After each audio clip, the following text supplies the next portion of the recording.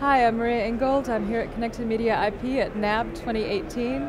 And joining me is Margareta Sauger. She is the Vice President of uh, America's Enterprise for PCCW Global. Thank you so much for joining us today. Thank you for having me. So how are you finding the NAB show?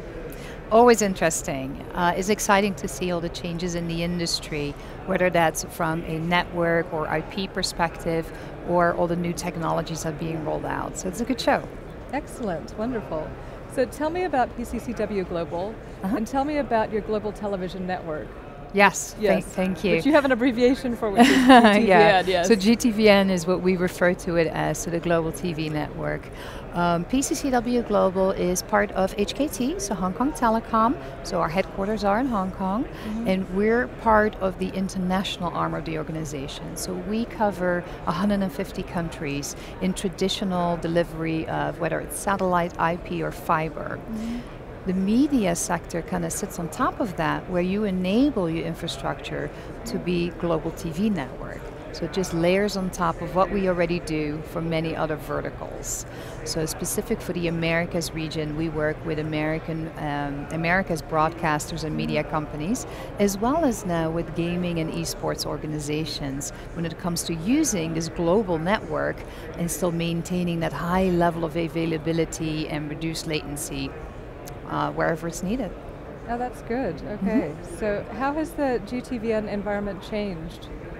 It has changed quite a bit over the last few years. Uh, the biggest hurdle really was once you get off our network and you go to the event, the stadium, or wherever it might be the venue, mm-hmm. is that that lack of infrastructure. So that's kind of what we've always struggled with. But IP is coming so fast, mm. or mobile or cellular, that now we have a better way to deliver direct to stadiums via the partners that we've made, as well as the continued expansion. So we're in LATAM now as well. We see big growth in Africa, Middle East area. So seeing the global market change as well as the enhancements in the industry, um, it, it continues to advance what we can do and where we can do it.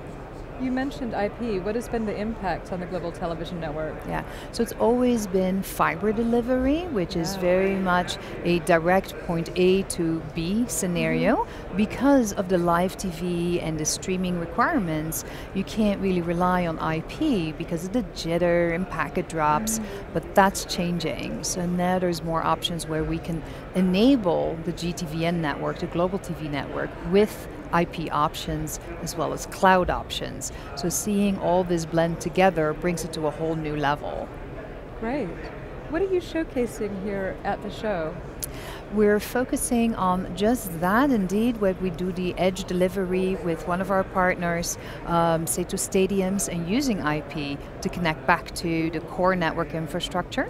So that's one element you'll see, as well as the, the sheer coverage we have globally. So that's another element you'll see, as well as highlighting our more emerging technologies that cater to the esports, the gaming environment, or OTT platforms. So there's various elements within that product portfolio that we can demonstrate while we're here.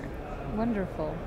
So, what's going to be next for you in 2018? It's going to be exciting. yeah, so, we acquired a company the end of last year called Console Connect. Okay. And that really will take our organization as a whole to the next level on a software defined um, network level. So, what that really means is that a broadcaster can just log in and make changes, update, make route changes wherever in the world they need it, mm-hmm. as well as direct access to cloud providers as more and more of their programming might sit in the cloud.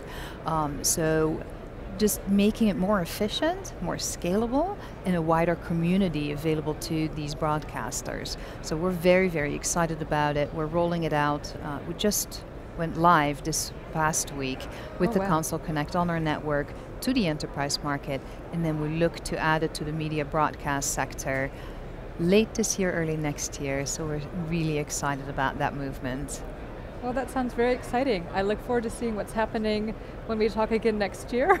yeah, absolutely. And so then you get the story of how we've rolled it out and how it really has enabled uh, broadcasters to be more efficient, to have options available to them that would just never existed prior. That sounds wonderful. Thank you so much for joining us. Thank you.